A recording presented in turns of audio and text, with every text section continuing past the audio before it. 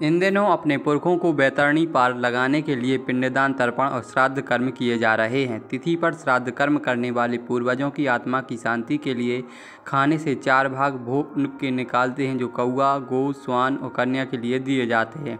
साथ ही तर्पण में सफ़ेद फूलों का बेहद अधिक महत्व होता है, लेकिन इसमें उपयोग होने वाले कद्दू के फूल मिलना दुर्लभ होते जा रहे हैं। इसके साथ ही अब कौआ लोगों को ढूँढने से भी नहीं मिल पा रहे। ऐसे अगर श्राद्ध के दिन इन चीज़ों की व्यवस्था नहीं हो पा रही तो कुछ विकल्प भी हैं, जिन्हें कर्मकांडी ब्राह्मणों द्वारा सुझाया गया है। पंडित यशुवर्धन चौबी ने बताया कि तर्पण में सफ़ेद फूलों का महत्व होता है। कद्दू की जगह पर कनेर या चांदनी के फूलों का इस्तेमाल कर सकते हैं। गाय या स्वान शाम तक नहीं मिलता है तो इसके लिए किसी भी पेड़ के नीचे जाकर इसको विसर्जित कर सकते हैं। वहीं अगर कद्दू के पत्ते भी नहीं मिल रहे हैं तो बरगद के पत्ते में लगाकर इनको भोग लगाया जा सकता है। सुनिए क्या कह रहे हैं पंडित यशोवर्धन चौबे। सभी के लिए नमो नमः।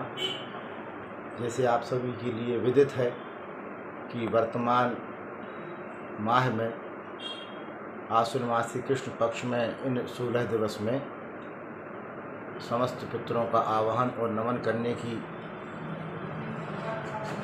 विधा और विधि चल रही है। कुछ आगंतुक यजमानों के प्रश्न हैं कि जो पितरों के लिए हम पूजन की सामग्री अर्पण कर रहे हैं, उसमें कुछ वस्तुएँ उनको प्राप्त नहीं हो पा रही हैं या उपलब्धि नहीं हो पा रही हैं। तो उनके विषय में ये है प्रेत मंजरी और पूर्व पुराण में दिशा निर्देश कि कुमत्तई निरूपणम श्रोत श्वेत समर्पणम नमः। अर्थात जो वस्तुएँ उपलब्ध नहीं हो पाती हैं तो उनका विकल्प रखकर पूर्ण श्रद्धा के साथ उस पदार्थ को हम समाहित कर सकते हैं।